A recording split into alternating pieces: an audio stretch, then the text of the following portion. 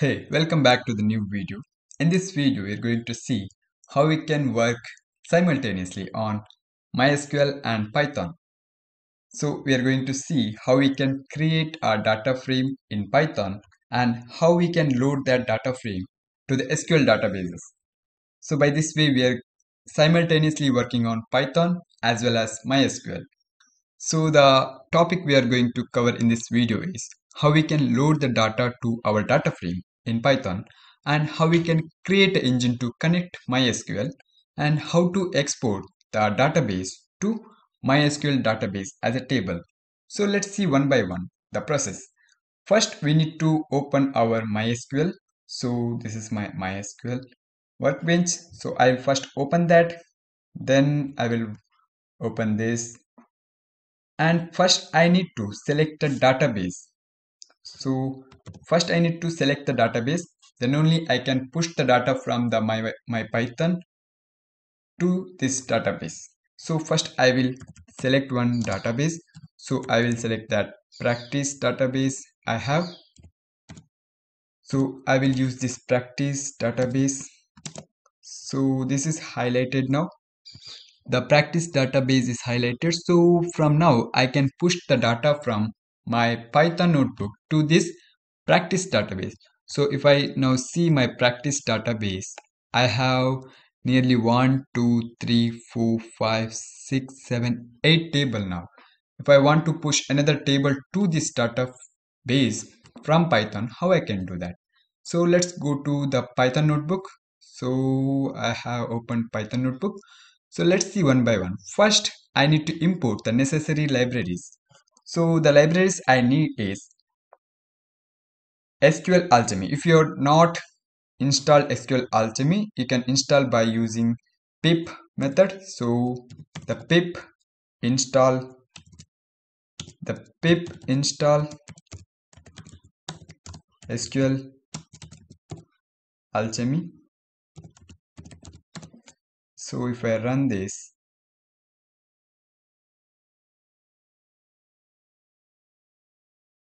let's see, let's wait.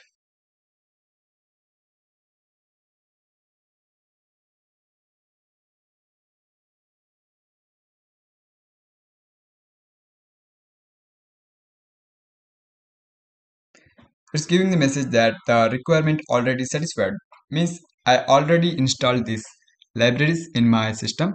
So if you're not installed yet, you can install by this way. After that, let's import necessary libraries. So to deal with data frame, I need pandas. So I will import pandas as pd. So to create a connection, we need to create an engine. In order to create engine, we need one toolkit that is SQL Alchemy. From SQL Alchemy, I will import create engine. So from SQL Alchemy that we have just installed, from SQL Alchemy import create engine. So I imported create engine. Then to working with SQL, I need from pandas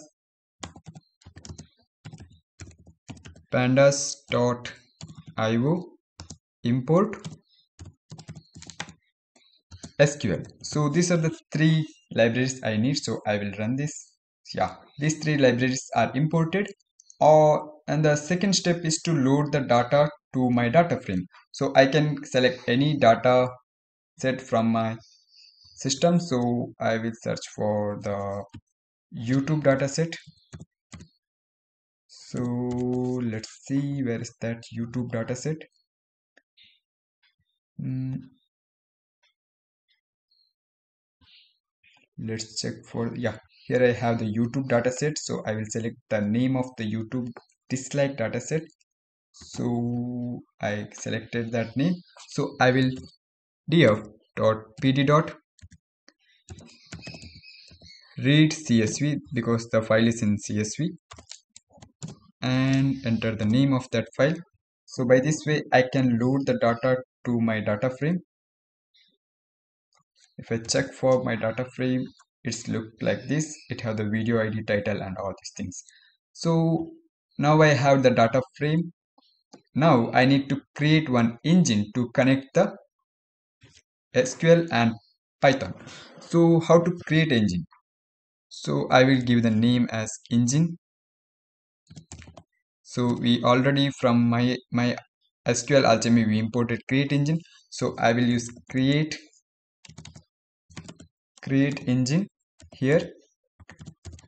So create engine within that create engine first I will use double quote and mention my SQL plus plus py my SQL py my SQL then put or colon then double slash then mention about user. So we are doing formatting here.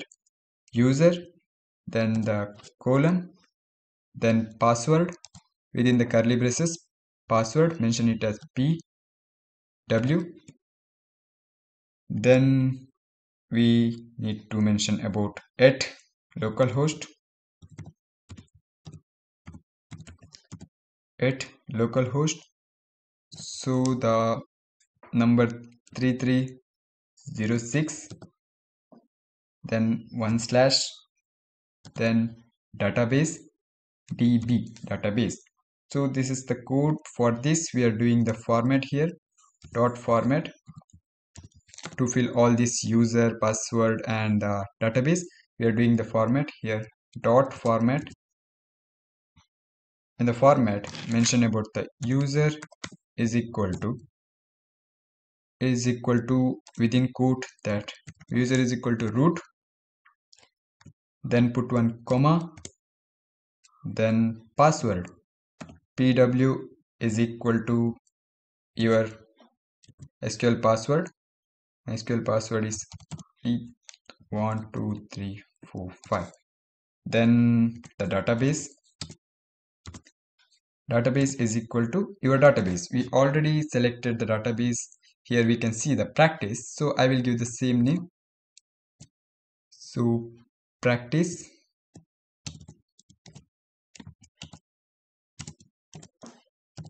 Practice is my database. So by this way i can create engine. So let's create engine. Yeah, we got one error because we didn't close it that and put one comma. Yeah.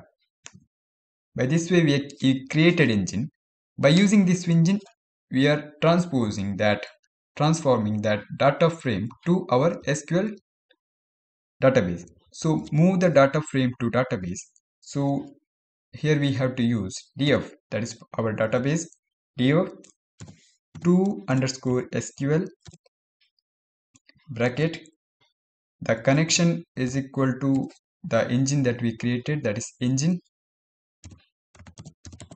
engine and the name I want to give for my database the table that is YouTube.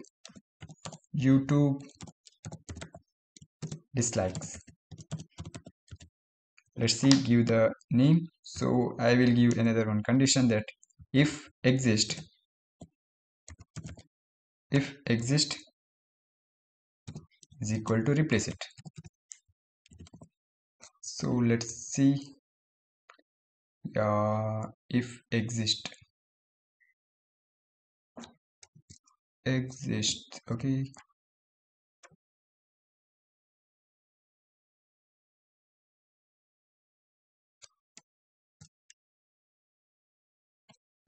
If exists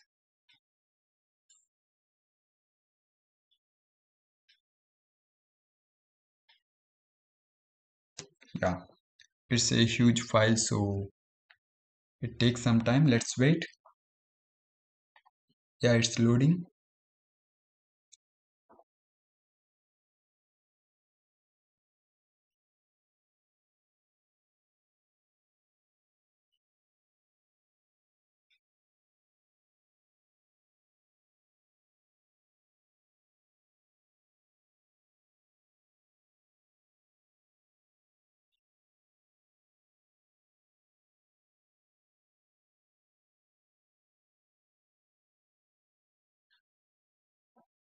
yeah.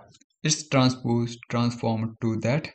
So here we can see 37422 so the data set is the row of 37422 so if i go to my sql then if i refresh this and check here i can see previously i had only 8 now i can check 1 2 3 4 5 6 7 8 9 so the one more table is added. That is youtube dislike so if I check for the column or the information, here we can see all the data is loaded to our database. So this is how we can create a database directly from the our. So just to sum up, in this video we saw about how to import the necessary libraries like pandas and SQL Alchemy imported create engine to create a connection then pandas io to work with xsql then in the step two, we loaded the data to our data frame. That is YouTube dislike data set we loaded. Then after loading the data, we created engine that is create engine by using these codes. And after loading, after creating engine, we transformed or we transferred the data to our database by using df.toSQL by using the created engine and we give the name of our data table as YouTube dislike and we transform or transfer that data to our database and from now we can query the database directly from our SQL workbench. So this is the process. Thank you for watching the video. Thank you.